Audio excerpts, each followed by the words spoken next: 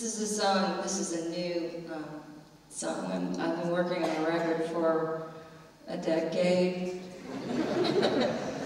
um, it's almost ready.